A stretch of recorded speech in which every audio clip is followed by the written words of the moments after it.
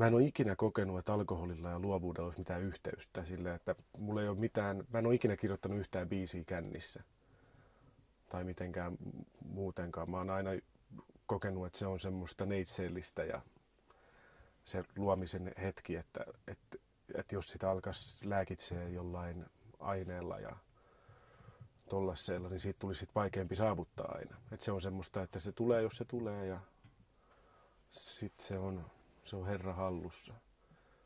Mutta sitten, eikä mun mielestä, niin jos miettii sitä omaa alkoholin käyttöä, niin se on sosiaalista. Se on aina semmoista, että jonkun kaverin kanssa nostetaan malia ja toinen ja kolmas ja neljäskin.